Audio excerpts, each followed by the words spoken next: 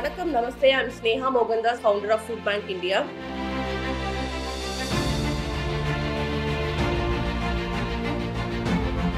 I started this food bank on uh, 2015 before Chennai flood. The basic motto is to fight against hunger and create a hunger-free nation. My mom used to call uh, all the orphanage kids to home to serve food on my uh, grandpa's birthday and special occasions.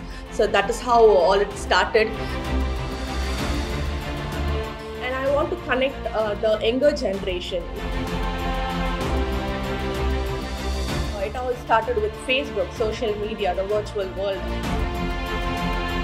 My concept is to connect people in Facebook and make them to bring on the field. So I started a Facebook page called Food Bank Chennai. So people started, uh, you know, um, taking an inspiration and uh, got in touch with me to follow the same pattern in their states. So far, we have 18 plus chapters in India, uh, including uh, one in South Africa.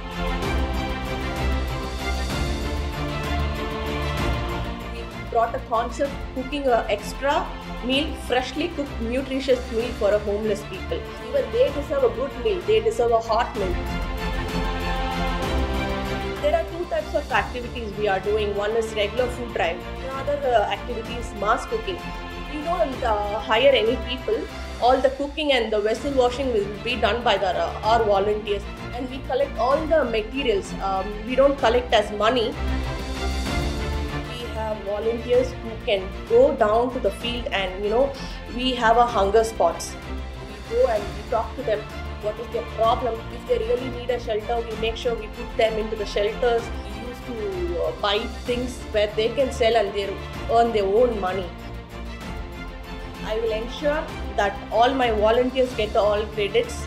My success mantra is share success and never hold the success.